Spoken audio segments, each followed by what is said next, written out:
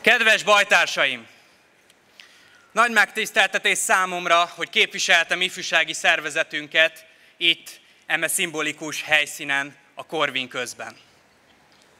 De még nagyobb dicsőség számomra, hogy olyan hősökkel állhatok egy színpadon, mint Pongrácz András, kinek az 56-os forradalomban véghez vitt tettei a lehető legnagyobb tiszteletet érdemlik. Ő és a pesti srácok sokszor kilátástalan harcai nélkül talán a mai napig elvtársnak kéne szólítanunk egymást. Az ő akkori harcunkat nekünk, fiataloknak kell megvívnunk a jelenben. Többen kérdezték a napokban, hogy miért keverjük bele az aktuál politikát az október 23-ai megemlékezésünkbe. Hát kérdezném én, hitelesen lennénk-e antikommunisták egy a vörös terrort elítélő közösség, ha nem hívnánk fel a magyar nemzet figyelmét arra a veszélyre, hogy most napjainkban a külföldről pénzen, pénzzel posztliberális és új baloldali pártok egyre nagyobb teret kapnak hazánkban. Szó nélkül kellene tűrnünk, hogy a pár éve magát még jobboldaliként meghatározó, egykori, radikális jobbik újra a hatalomra akarja segíteni a saját népébe belelövető Gyurcsány Ferencet. Legyintenünk kellene arra, hogy Macron momentuma tudatosan kijelő a magyar fiatalokból a nemzettudatot, az identitásunkat, és még a biológiai nemével kapcsolatban is bizalmatlanságot kell. Hát ezért harcoltak az 56-osok?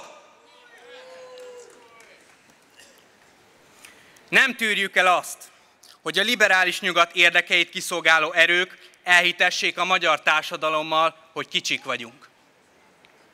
Mi nagyok vagyunk, és erősek. Mert azok akarunk lenni.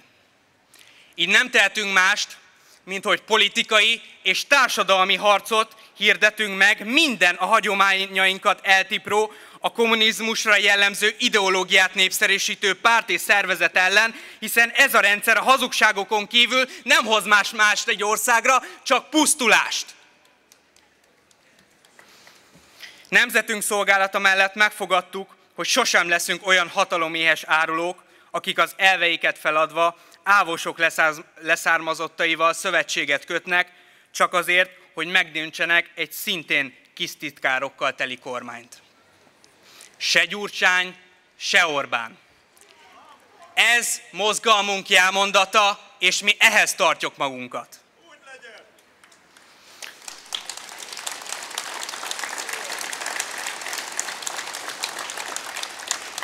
Mert amíg a mi hazánk ifjai létezik, megígérhetem, hogy mindent meg fogunk tenni annak érdekében, hogy a lehető legdrasztikusabb módon felszámoljuk az összes jelenlegi kommunista és posztkommunista törekvést, mert ebben az országban nem fog többé lobogni a vörös zászló, nem fog többé magyarokat verni a karhatalom, nem fogják többé hazugságokkal elnyomni ezer éves történelmünket, és nem fogják más népek kultúrájánk ránk erőltetni, nem fogják a magyar népet elnyomni, mert mi győzelemre és sikerre születtünk.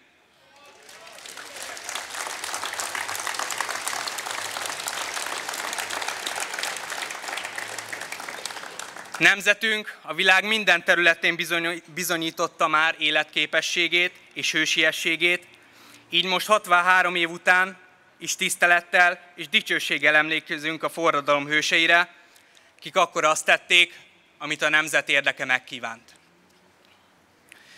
Mi, fiatalok, kikre mindig azt mondják, miénk a jövő, vegyük hát, legyünk hát mi a jelenkor pesti srácai, dolgozzunk teljes erőbedobással a magyar nemzet felemelkedéséért, mert ez a mi hazánk. Fel a győzelemre!